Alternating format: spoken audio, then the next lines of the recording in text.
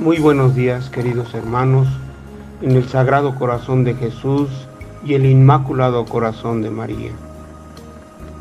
Hoy día, viernes de la tercera semana del tiempo de Cuaresma ciclo B, se nos hace un nuevo llamado a la conversión.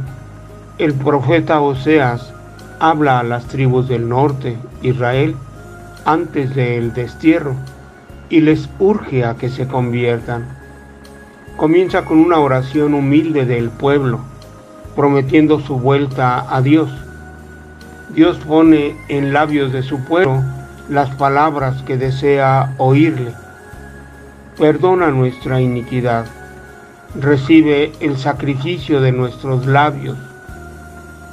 El pecado principal era la idolatría. No tendrás otro Dios más que a mí no nos salvará Asiria. No buscaremos alianzas militares con pueblos extranjeros, sino que nos fiaremos de Dios. No volveremos a llamar Dios a la obra de nuestras manos. Termina con una respuesta amable de Dios, acogiendo de nuevo a su pueblo, como se acoge al hijo pródigo que vuelve o a la esposa caprichosa después de alejarse. Yo curaré sus extravíos, los amaré sin que lo merezcan. Seré rocío para Israel. El profeta Oseas añade, será sabio el que siga este camino de conversión y prudente el que haga caso de la invitación de Dios. En el Evangelio, gracias a la pregunta del letrado, sabemos a cuál de las normas de los judíos, que eran más de 600, le daba más importancia a Jesús. La respuesta es clara. Amarás al Señor tu Dios. Amarás a tu prójimo como a ti mismo. No hay mandamiento mayor estos. Los dos mandamientos no se pueden separar. Se condensa en una actitud positiva amar, amar a Dios, amar a los demás.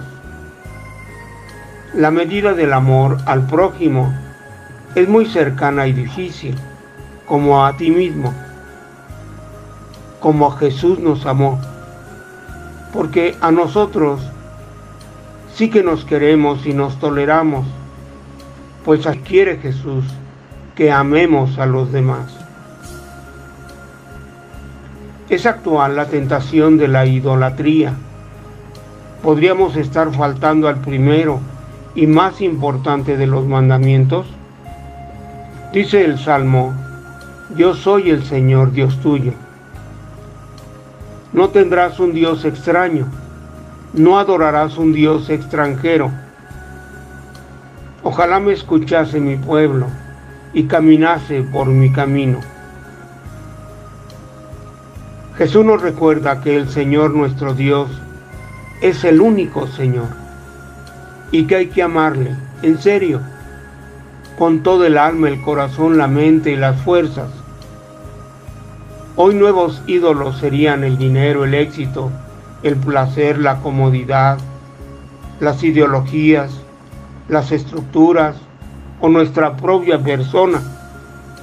Seguimos teniendo la tentación de pactar con Asiria o montar a caballo, de poner nuestra confianza en los medios humanos sin aprender de nuestros fracasos, en que quedamos defraudados por nuestros errores. En Cuaresma se nos invita a revisarnos sobre la idolatría que tanto nos aleja de Dios.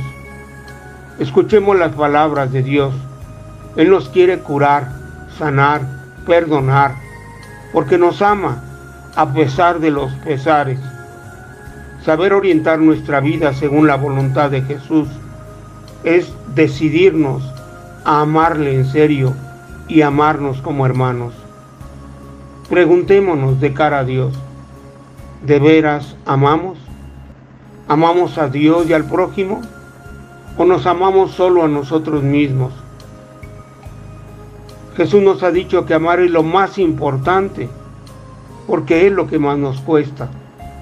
Amar gratuitamente, sin pedir nada a cambio, entregando nuestro tiempo, interesándonos por los demás. Consigna que nos ocupará las 24 horas del día. Antes de comulgar con Cristo, se nos invita a reconciliarnos y darnos la paz. Comulgamos con un Cristo entregado por los demás, para que vayamos aprendiendo a amar, a entregarnos y a hacer pan partido para los demás. En Cuaresma seguimos el camino de Cristo hacia la Pascua, camino de entrega y de amor total. Ánimo, queridos hermanos, o santos o nada, hasta el cielo no paremos para estar eternamente con Jesús y María. Dios te salve María, llena eres de gracia, el Señor es contigo. Bendita eres entre todas las mujeres, y bendito es el fruto de tu vientre Jesús. Santa María, Madre de Dios, ruega Señora por nosotros pecadores, ahora y en la hora de nuestra muerte. Amén. La bendición de Dios Todopoderoso, Padre, Hijo y Espíritu Santo, descienda sobre ustedes, sus familias y necesidades, y permanezca para siempre. Amén.